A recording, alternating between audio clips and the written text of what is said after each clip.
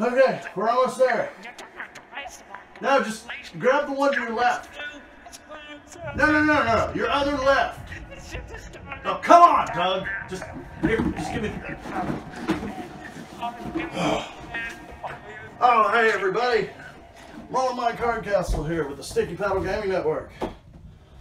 Woo! Lots been going on since the last season of Creepy Gaming. My roommate, Doug Ratman, unfortunately is finally moving out. It's okay though, I understand. He found a better place for a better price. Plus, that attic can't be too comfortable. Anyways, where's my manners? Let's do this the right way. Ladies and gentlemen, boys and girls, children of all ages, freaks and geeks, trolls and nerds alike, welcome. Welcome all. I'm Mullet Mike Gaming Network in full screen, bringing you Creepy Gaming 7. Can you believe that? Seventh season. I didn't even know I could count that high. You like the new set? Huh? Okay, it's really, it's the old set. But hey, look, we got so much more room now. Got all kinds of room for activities. We can do so many activities. It's awesome. We can do karate. Been teasing it for a while now, but I thought it was only fitting that since this is season 7 after all, we will be talking about, for our season opener, none other than Resident Evil 1 through 6. See what I did there? Because 7 and everything, oh, never mind. All kidding aside, it's a double feature, folks. Hey, don't worry about it. I told you I was going to do it. I am going to cover Resident Evil 7. But in this video today, I'm covering Resident Evil 1 through 6. If you want to see what I think of Resident Evil 7, it should be up right now for a Season 7 double feature. Thanks to everyone who recommended these episodes. They are well earned. As a matter of fact, thank you all. Thank you all for making seven seasons of creepy gaming possible. It blows my mind. As a matter of fact, we are even going to be hitting our 100th episode of Creepy Gaming this season. Wish me luck. I'm to need it. So, without any further ado, turn the lights down and the volume up as we journey into some creepy gaming.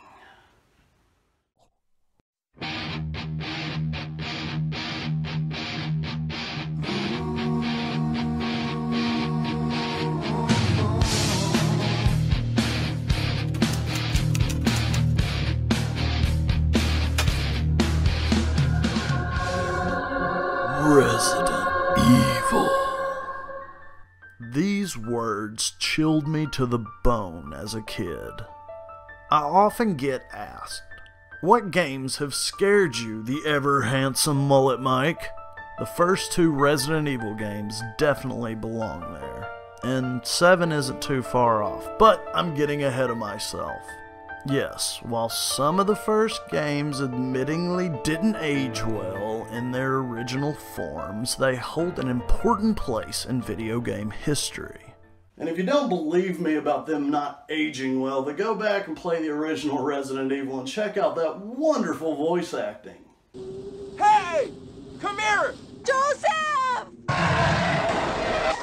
All kidding aside, Resident Evil, also known as Biohazard in Japan, holds a special place in creepy gaming history because it is technically the first survival horror game.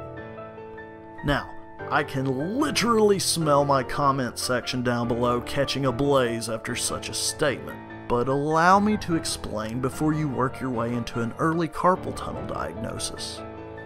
Yes, there were other horror games like Clock Tower and Alone in the Dark, but Resident Evil was the first game to coin the phrase and be categorized as survival horror rather than just horror.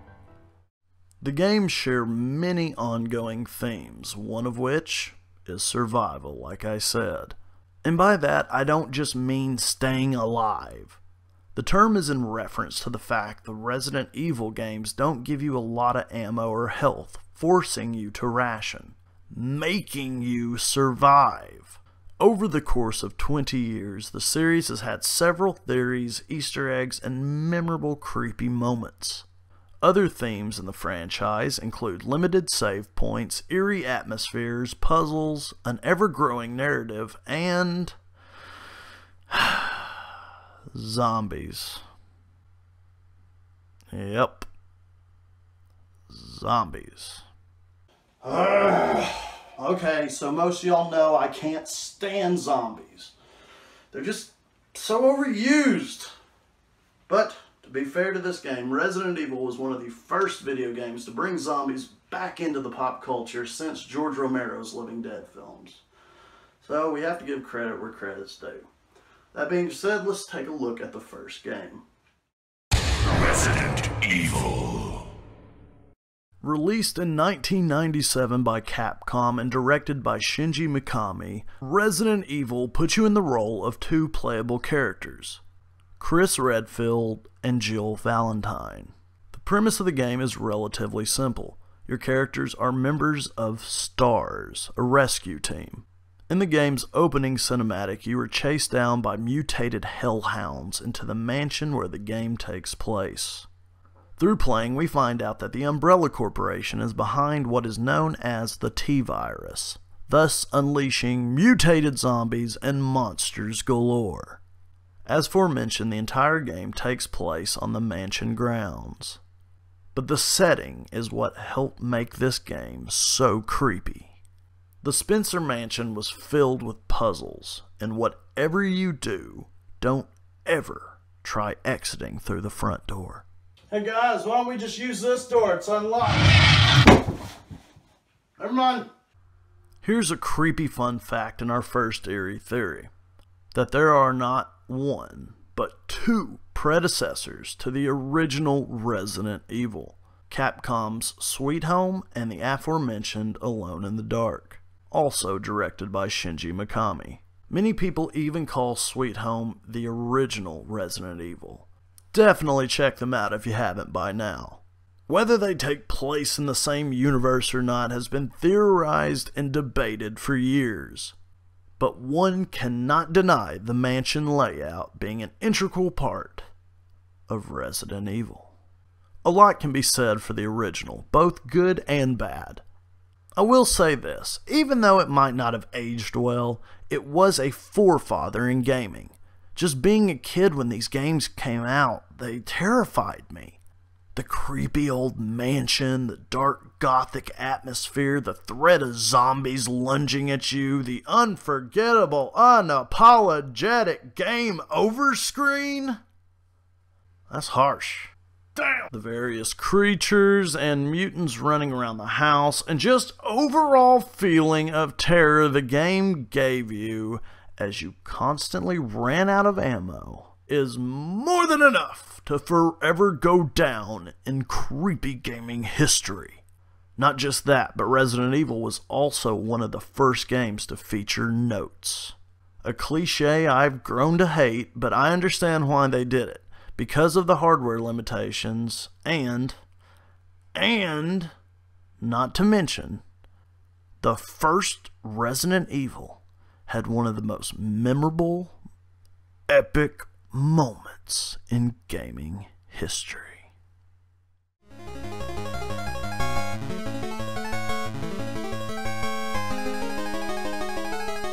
The Sticky Paddle now brings to you epic moments in video game history.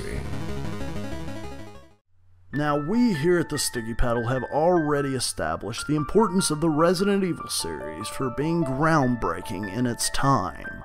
The title was riddled with scary and memorable moments. I personally felt like there were several epic moments, but one in particular stands out. Early in the game, once entering the notorious Spencer Mansion in the Arklay Mountains, players were met with the series' first zombie. While it can be considered tame now, for its time, this upcoming scene was terrifying. You gotta remember too, when it was released, most players had never seen anything like this. Ladies and gentlemen, I bring to you an epic moment in video game history.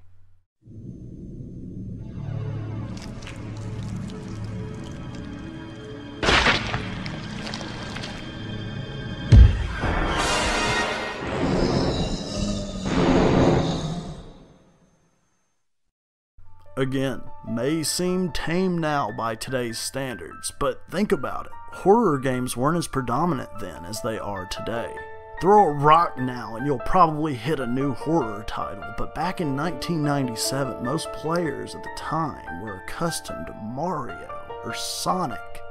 Not this! I find it funny, as simple of a moment as it is, it has obviously left a lasting impression on the video game world. One that we are still talking about to this very day, over 20 years later. This has been yet another epic moment in video game history brought to you by the Sticky Paddle Gaming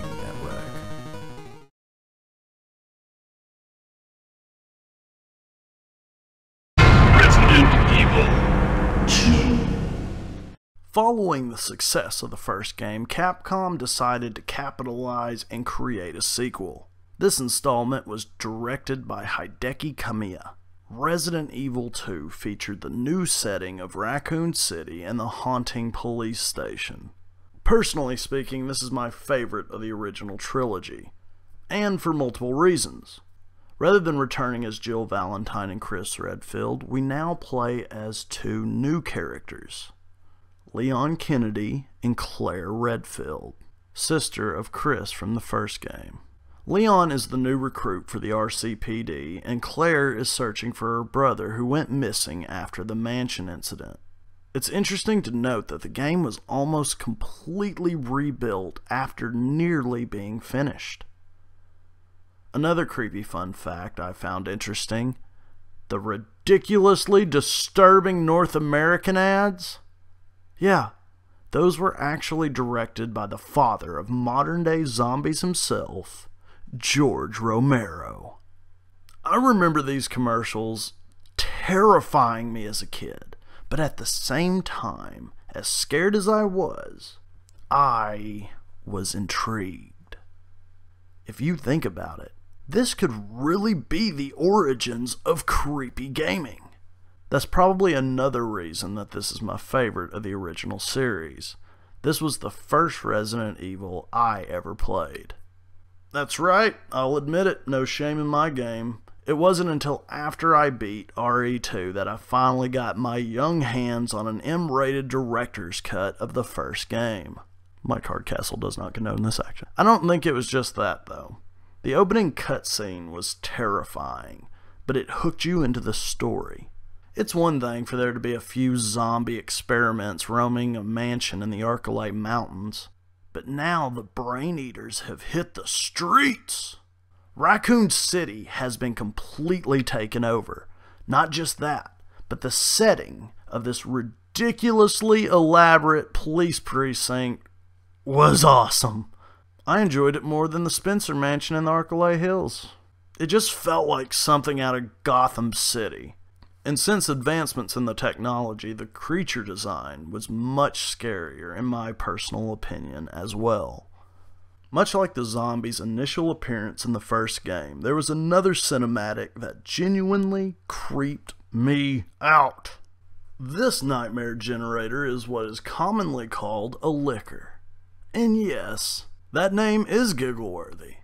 But the creature is not. Joseph! It might just be me, but these guys genuinely terrify me.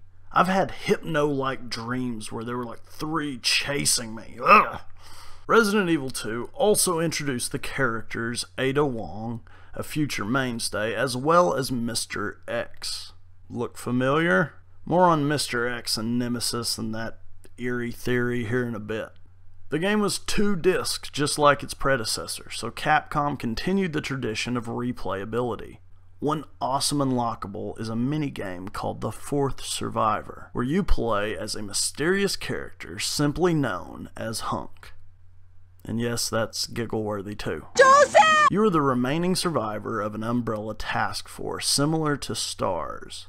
There's an interesting theory regarding Hunk that even ties into Resident Evil 7. Be sure to check out that video if you want to hear it.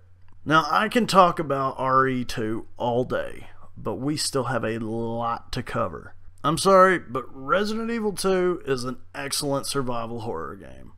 I know I may be a little biased based on my own personal nostalgic memories, but how can I have an award winning web series called Creepy Gaming and not at least mention these games? Awards pending. Regardless whether they have aged well or not, the terror was there. And in some places, still is. Resident Evil 3. This game has a very interesting backstory. The original concept for the third installment was meant to be a vast departure from the series. But, much like Resident Evil 2, this project eventually got scrapped and developed into the franchise we know today as Devil May Cry. Once the original idea was changed, the development team was split into two separate groups. One team worked on Code Veronica while the other worked on what we now know as Resident Evil 3. Overall, the game's okay, but it's not my favorite. The creepiest redeeming factor in this game, though, is Nemesis. He's this hulking, unstoppable brute, which is scary enough. But, well, just look at him tentacle porn It's like no matter what you do, there's no stopping him. He's a steroided out version of Mr. X, which is pretty cool because this game takes place at the same time as Resident Evil 2. You return in the role of Jill Valentine from the first game, and the basis of the game feels pretty lacking for the most part. As Jill, you were just supposed to outrun Nemesis and escape Raccoon City. Even though it's technically not, the game feels very linear. This title was on just one disc, and you just play as Jill for the most part. And to me, anyway, it just feels more like some side story, not deserving of being a numbered title. Again, just my opinion.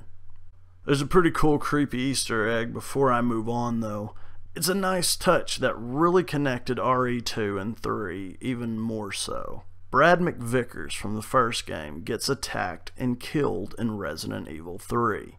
But if you know where to go under the stairwell outside of the police department in RE2, you will find who is believed to be Brad McVickers.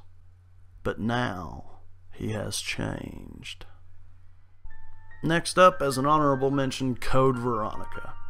I won't talk about this one much. I know I said I was only going to cover the numbered titles, but personally speaking, I feel that this game deserves to be the true Resident Evil 3. It just has better all around characters, more to it, and just furthers the ongoing plot.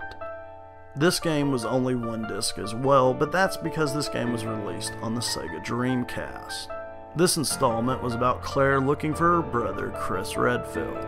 The game was darker and scarier than previous installments, making this game stand out against the rest. The Rockfort Island setting made the game feel more claustrophobic and creepy.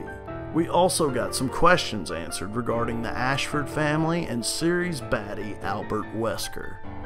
Speaking of the Ashford family, there's a pretty creepy Easter egg regarding the Ashford family mansion.